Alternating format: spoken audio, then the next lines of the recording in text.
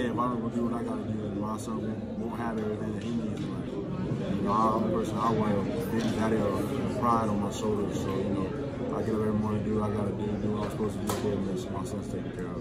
How much has being a father really changed you this last year?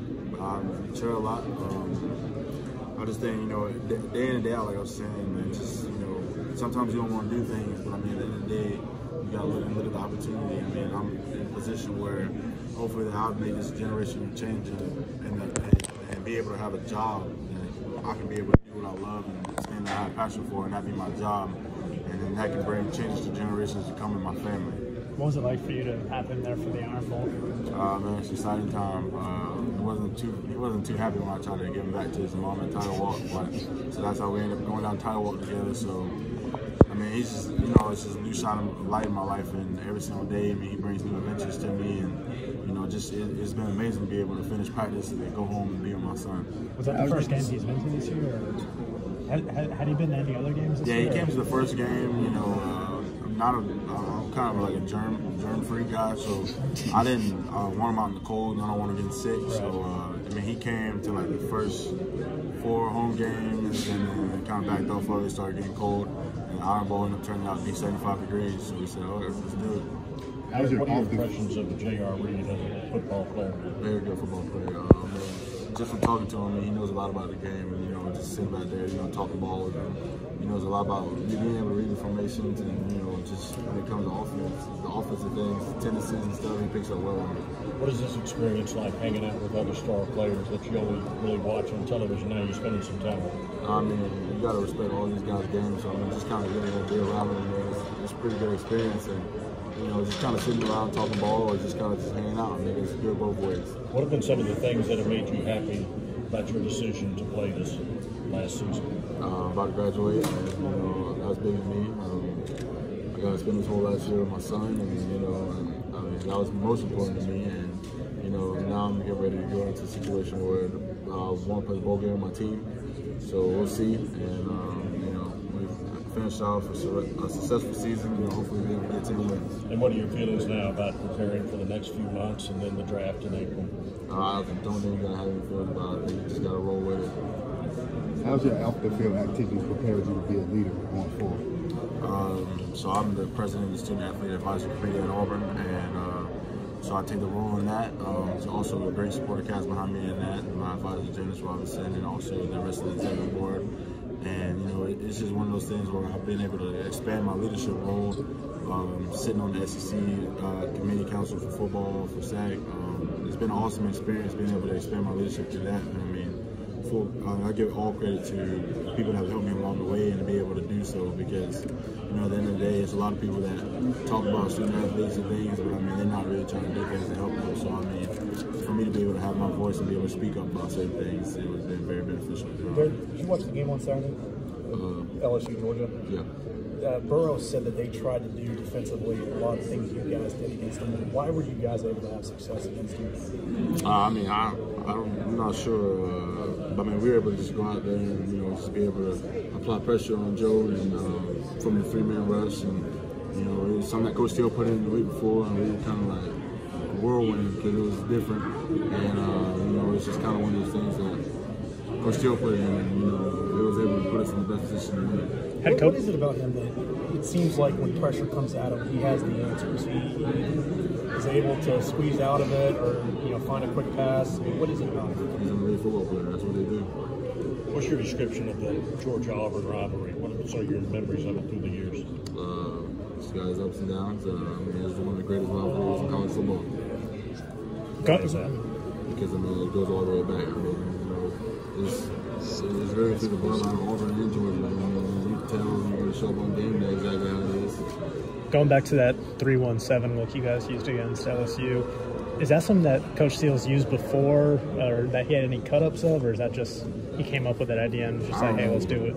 Like Coach Steele is a genius in my eyes because, like, at the end of the day, like we could be sitting there and like Coach Steele's just like all he needs to know is the formation. He already knows the call. Like he has his call sheet on game day, but if you watch him, he never looks at it. And like it's like one of those things where I'm like, like I just don't know how he does it. And I mean, yeah, I mean, again, he's done it for a long time, but I mean, it's just still amazing. Just like because when we put in that defense, um, it was it was just something new. I mean, you know, I was kind of trying to wonder like how it's going to work out this as a practice because it's simulating it versus the scout team and it's doing well. But I mean, Saturday, you know, it's different. So I was like, I was just curious as how it would work. But, I mean, I was going to try my best in there. I mean, you know, we were able to do what we did. What's it say about your defense and Coach Steele overall that you got using using that? Uh, kind of worked on LSU to an extent. I mean, no, nobody else really held them in check like you did this year, and then see Georgia attempt it and not really have that kind of success either. Uh, I mean, Coach Steele, I mean, like, like I said, man, he's a genius, man. And when we, we, he never puts us in a position that he thinks is gonna that, that he thinks is gonna hurt what we do as a defense or what we do as players. And um, it's just been one of those things, you know. I, I've been blessed to be in a situation with Coach Steele because at the end of the day, I mean, he's one of the coaches that, you know, he actually cares about what his players have to say. So if we're going through something on a walk on Thursday, and Coach Steele will tell you, if you're not comfortable with it, tell me now, we'll stretch it, and we'll play the base, and we'll play base. So, I mean, it's one of those things where, like, Coach Steele's been open and communicating with us. So, I mean, it's been very beneficial for us because sometimes, you know, at the end of the week, if you're not really feeling confident in certain things, and, you know, it's not something you need to hold back. So when you're out on Saturday, you mess up, you know, you say it, and you got to be able to expand and talk to Coach Steele about it. Do you feel like you- should get more head coaching consideration? Um, I mean, I said somebody else. I mean, you, you've been around Coach Steele for four years. We've seen some of the videos of his pregame talks in the locker room. What's your favorite Coach Steele story from the last four years? Uh, I don't know. There's a lot of them. Uh, maybe the one before Washington game they put out. They put out. There was one before uh, Georgia game two years ago. Uh, there's a lot of them. I can remember all of them. So I mean, he's just an intense guy. Yeah. I mean, before the game, he's gonna get you pumped. I mean, the offense, defense, it don't matter. I mean, the hoot and hollering. I mean, he's one of those guys. But I mean, he also he treats us like pros. So I mean, you know, he doesn't have to talk a lot. He doesn't talk a lot in practice. He says very little during practice. Matter of fact, and he corrects. But I mean, outside of that, he says very little. What was the one before the Georgia game? Uh, I can't remember it to the T, but uh, I remember it. Is there something about your game that you think you'll be able to showcase on the NFL level that you weren't able to showcase at the, on the collegiate level? Um, Something that may stand out more? Not really. I mean, I feel like I'm. A, I feel like I mean, just being able to be consistently dominant, whether it's at this level or the next. Um, it's one of those things that you know, if you want to be a player for a long time, and if you say that you really want to go and be a type of player that earns that gold jacket, then you got to be able to show those type of things, whether at, the highest level or the best competition in the world.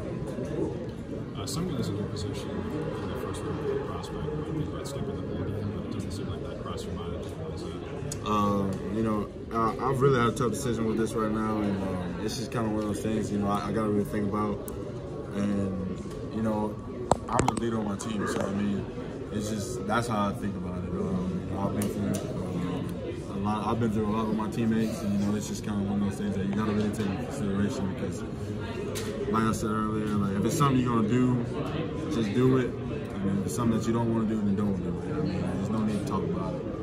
When you go to the next level, would it be something that you miss about your days being an Auburn Tiger? I mean, just the camaraderie and brotherhood, you know, just being at Auburn University, uh, being able to sit around and, you know, it was long, long days, man, because the next level is a job. And, uh, you know, right now you're being to be a student athlete, you know, you're going to see your brothers every single day, hang around. And I saw on your Instagram you put up that two days away is your graduation, and then you're here for the college football board. How are you just soaking in all of these moments together? Um, starting to slowly realize that this is the last one. So uh, I'm just kind of taking them in, you know, just, you know, it's just something that, you know, is memorized and I'll have forever. And then you'll be um, recognized for two awards um, for your defense, but not only that, your community service. Why is giving back to your community so important and a priority to you? I mean, I'm not, I'm not gonna say and say like, you know, I'm the best person this, that, or whatever, but I mean, that's such a big, big part of me because, you know, I, I've been blessed with a lot and been blessed to be put in a situation where God's given me a lot the things that I've done. And this is something that I want to be able to give back because, you know, what I'll sit there and I'll say, you know, how do I become the man I want my son to look up to? And, you know, in certain ways, you know, I want my son to copy what I've done. You know, there's some things that, you know, you try to not have a